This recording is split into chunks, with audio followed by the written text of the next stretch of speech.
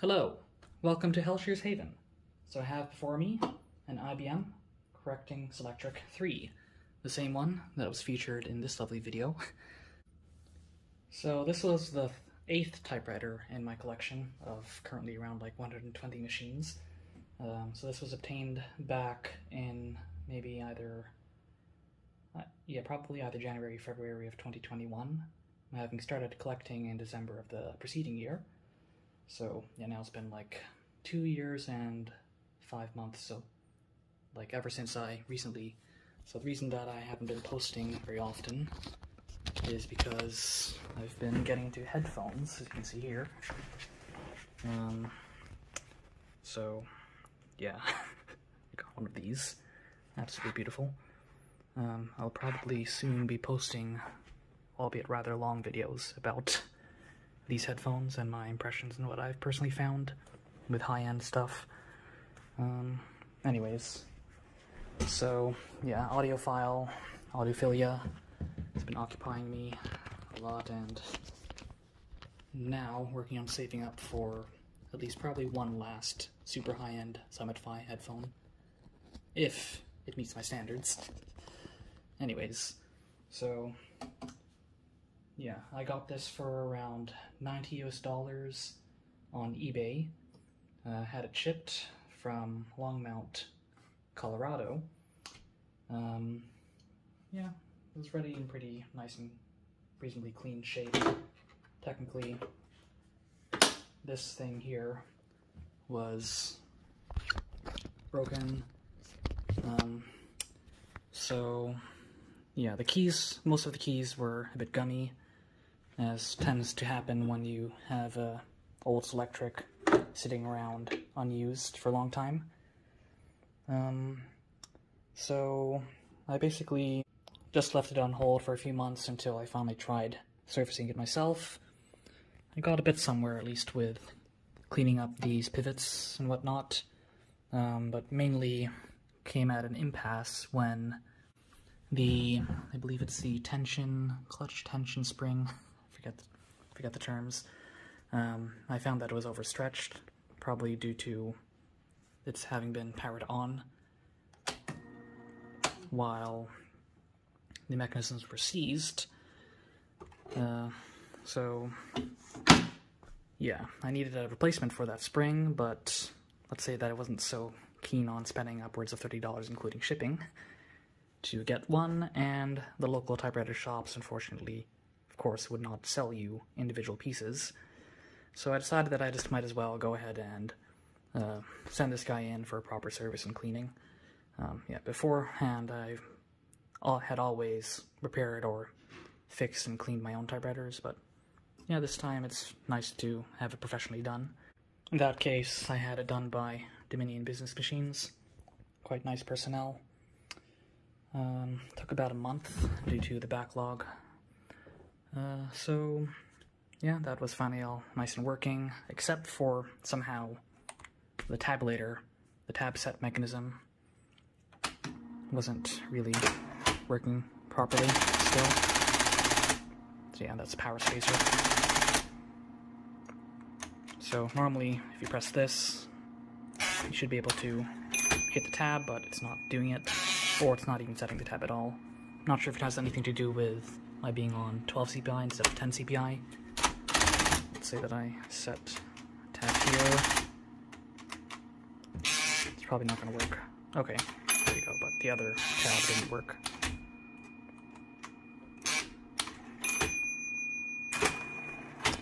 Um, so, yeah, lovely machine. Originally, I thought that the touch was rather similar to my model F AT over here. Um, but I guess the main difference is technically the touch is lighter, but then you also have the tactility from actually pressing the keys. Or basically, um, let's just say that, yeah, I'm not going to go too in-depth into this particular machine, uh, since there are plenty of videos, especially like this one by Kairos, um, on how this works, but yeah, basically there's an interposer and just a bunch of things that happen that causes the tactility to be rather special and technically allows you to do a really nice and quick tap, as you'll see, in order to actuate the mechanism. anyways, so the main thing that I'm sharing with this video is the fact that I'm currently preparing for tomorrow's 2023 Spring Canada Mechanical Keyboard Meetup held in Toronto. So, of course, even though I do have some pretty cool keyboards such as the Univac 1710 teletype or key punch keyboard,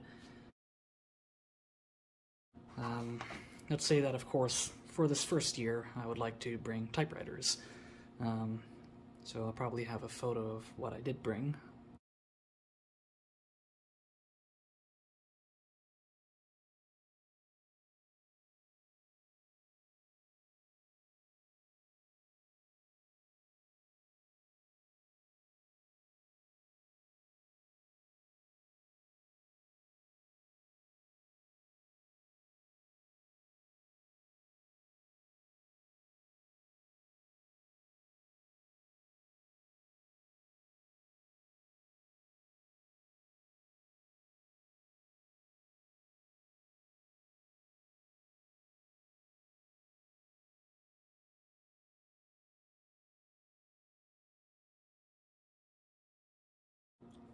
But otherwise, the goal here is that I want to be able to type out a whole bunch of little mini business cards.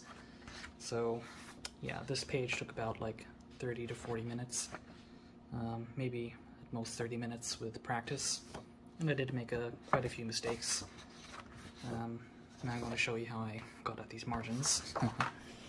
so, let's get another did Steven tell you the weight? 65 pound stock. I did start off with a little test run. So this would be the final layout for each side. So basically I have my margin all the way to the left. I've set this guy accordingly. I'm not going to move it right now.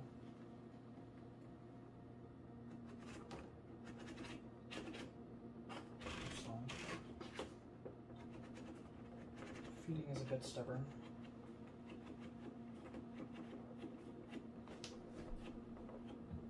Okay, so basically, you'll see here This is where one struggles a bit. So let's say that I'm now at number. Wait, first let's double check that it's actually lined.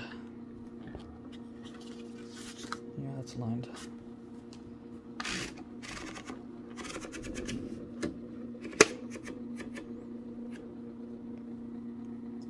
So number 96 and I want to type out number 97. Now you'll notice that if I keep on typing, this guy will get creased over, which is actually what happened this corner here. Um, but of course, to me, I'm going to pretend that all the mistakes and other tidbits are collectible for these little tickets. Tickets about the size of a fortune cookie fortune. Anyways, so I'm basically just holding up this little guy to allow me to type. Oops, I actually hit the thing. Oh.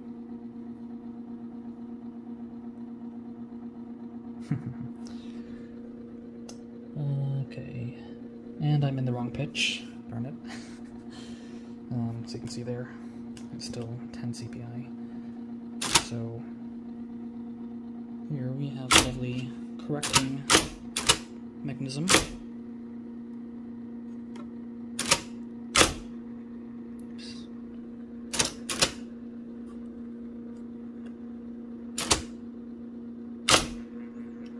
Uh, okay. Okay, there you go. So So I had to set it back to 12 CPI.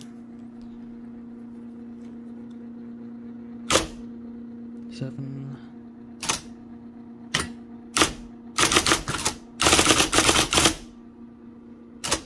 So yeah, at this point then I can type faster.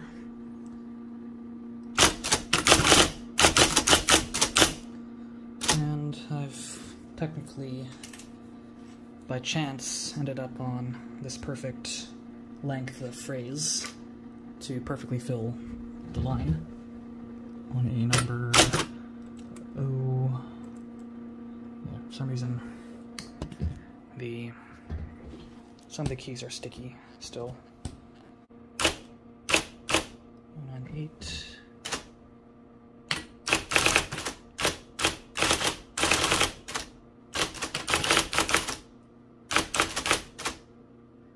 Okay. Oh, nine, nine.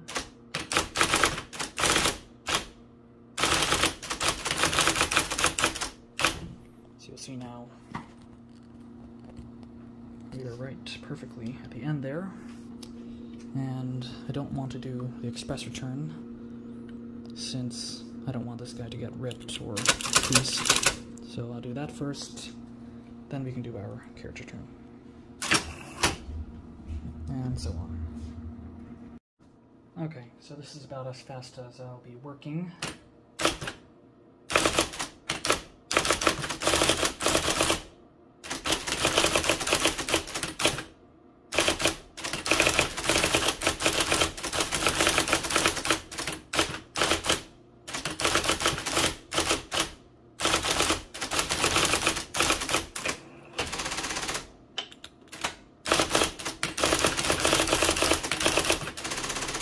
Again, unfortunately, the tabulator, or the tab step mechanism at least, isn't working properly.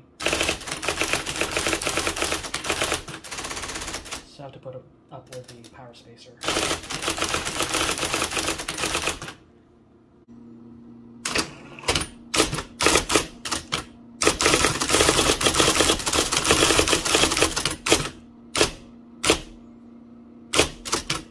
Oops. Oh, okay. So here, I made a mistake. So I can just do a quick. So I'll show, I guess, later. Oops. Uh, yeah, that's six.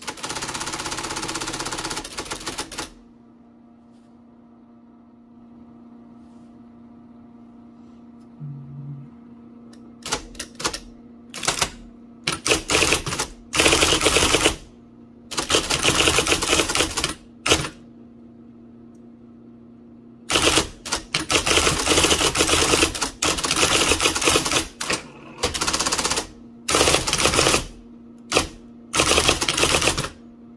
Oh, okay. that was a big mistake. So now you're going to see the correction process. Basically, I have to press this guy. That primes the mechanism. Oopsies. To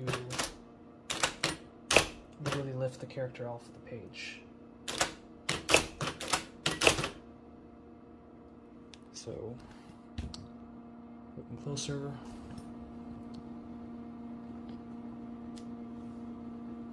You'll see the character is disappearing.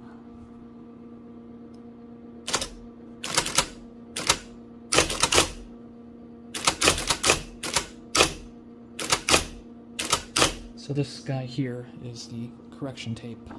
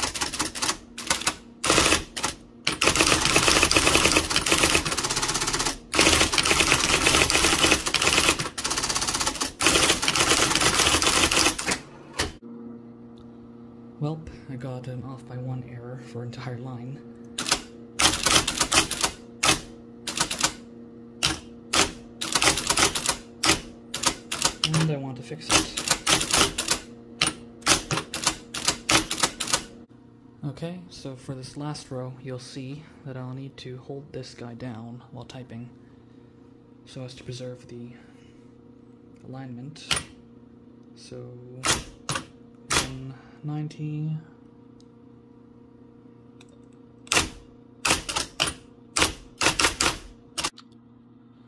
Well, that was a debacle.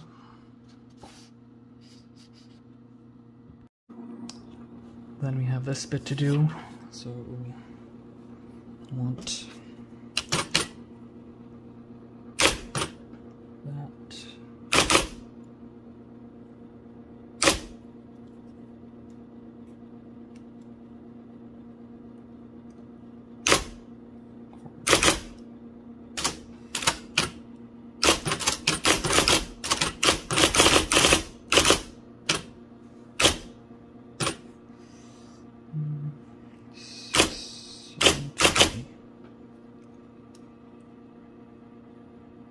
And I have to remember the number of spaces.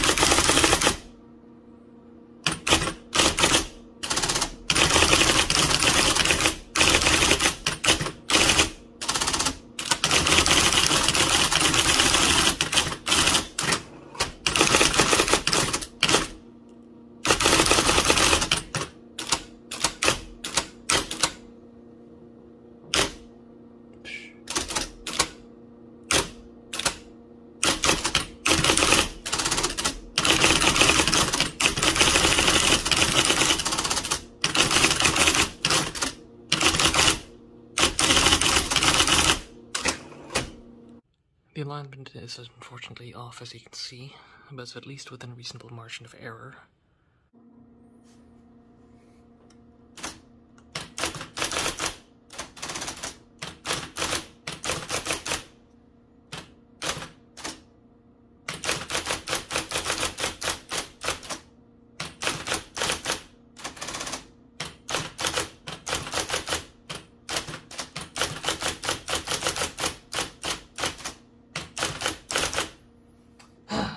long last.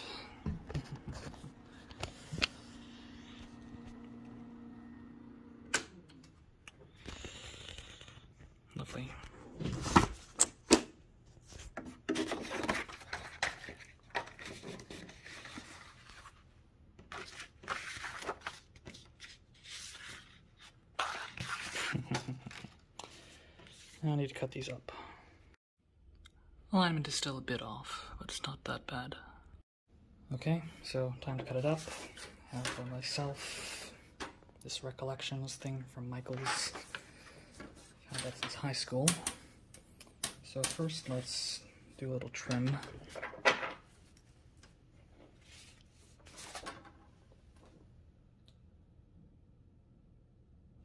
Okay, so I do have to include a bit of space below.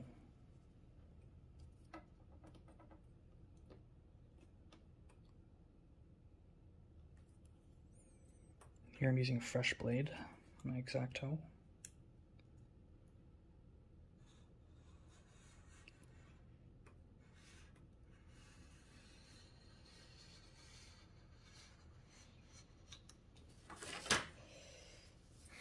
Okay.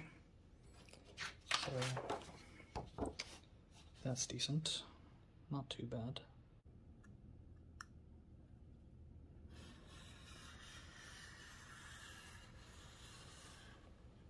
There we go.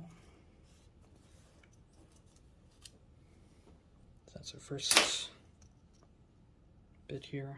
Kind of cut into the tops of the next row though. Not perfect, but decent. Easter Bunny typos. I suppose here it's just easier for me to freehand it. So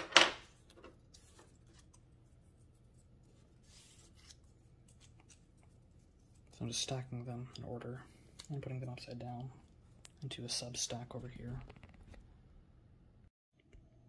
Yes, I'm going to be delivering this. Or I can freehand multiple at once, uh, but this time I could stack them, but I don't know, I'm not that confident in maintaining the alignment by that means. it doesn't have to be that perfect.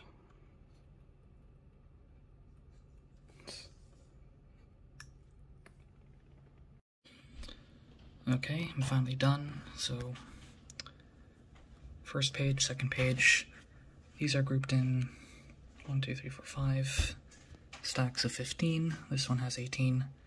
I think here I might have messed up and only put 12, such that this one has uh, 21. Anyways, I'm going to have to put these all together and figure out how much depth I need for my holder.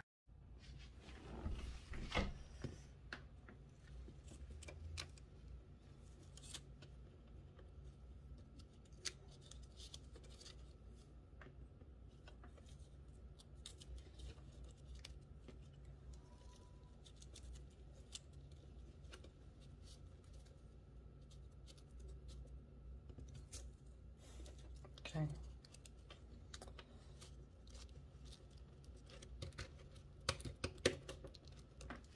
Okay, so I've measured the width of this to be approximately 75 millimeters. So I'll have 75 and then a centimeter on either side in terms of height. Um, so now I'm going to put this into this Selectric and type out my stuff so that I can determine what height I need. Okay, so I've drawn out my net. Um, I'm planning on making the clasp using just like some separate piece that I will attach with some glue. Okay, so that regard. Now I intend on making the flaps here, so these ones will fold this way and in.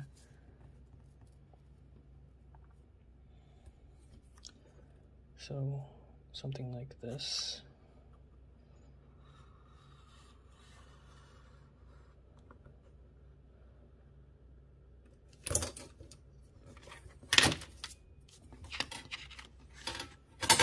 Like so. And so on.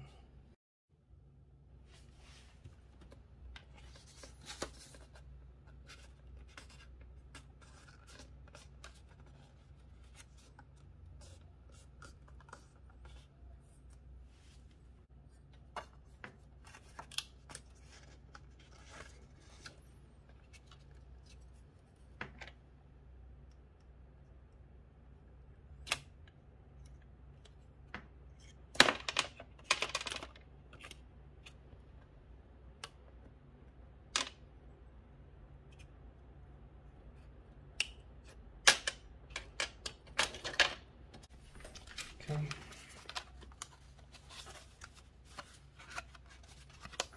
So something like this.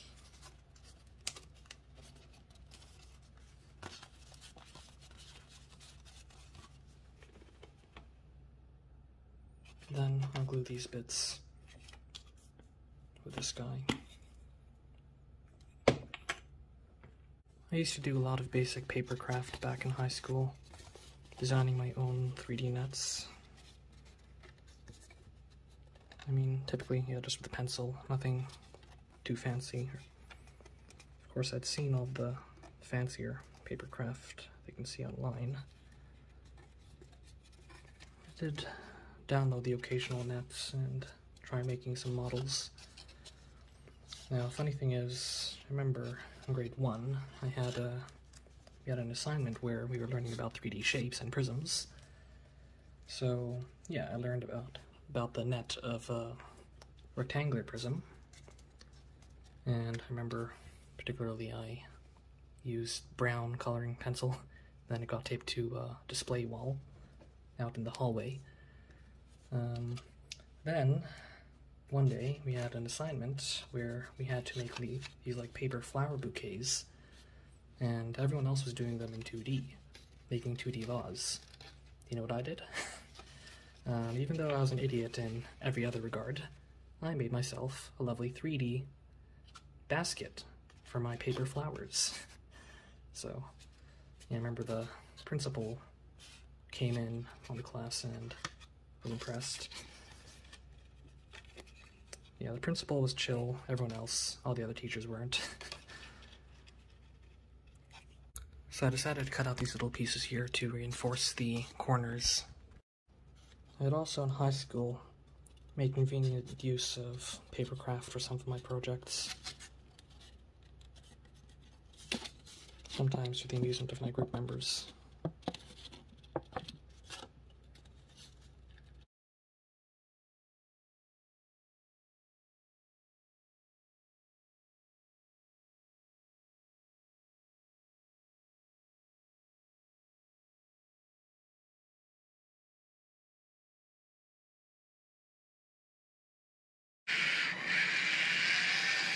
Sometimes it will experience noise that causes it to spin in different directions. So currently it doesn't really sense much of anything.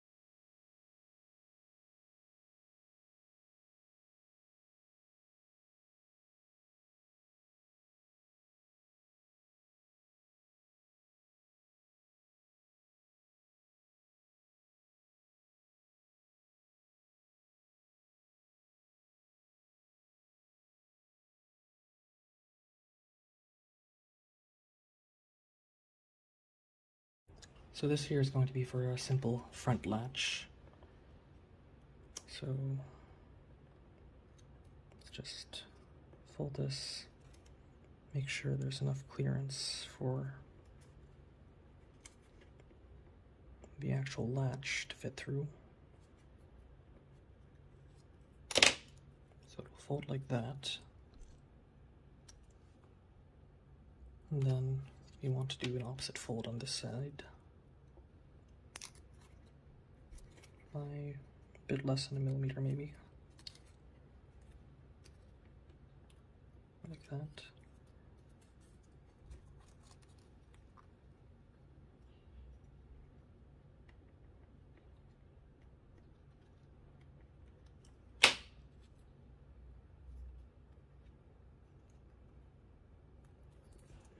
Then I'll glue that on to the front. Okay, so our little box is effectively done.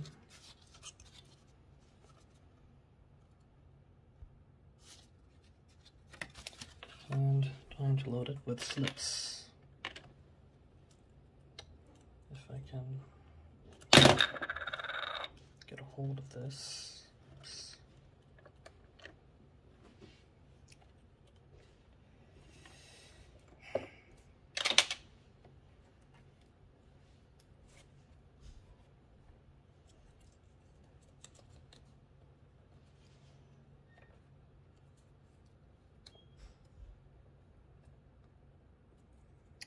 Okay.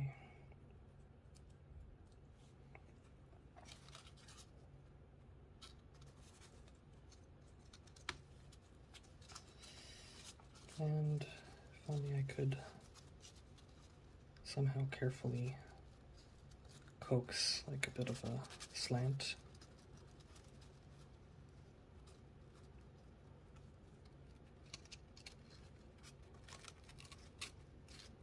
There you go. Perfect. Kind of.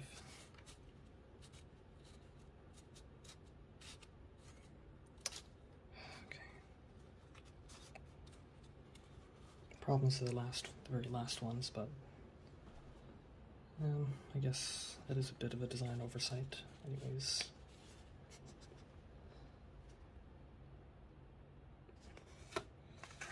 Okay, so that's what that looks like.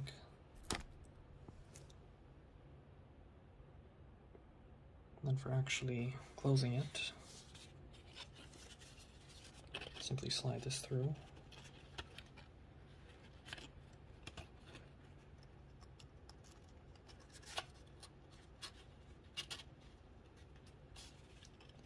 And fold it up. Okay, there we are. Secure. Maybe ideally I would have had some like additional side bits here, but it's kind of too late because I already cut into it. So that's it.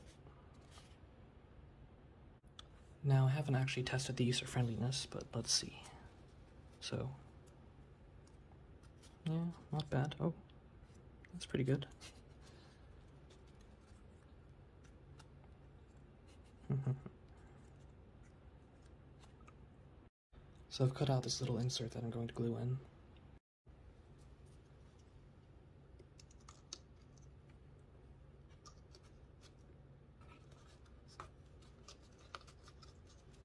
That's much better. So, pressing a bit. Yeah, if pressing this way, it will push it toward the back. Otherwise, if you press here, push it toward the front. The important bit is that the back here isn't flipping.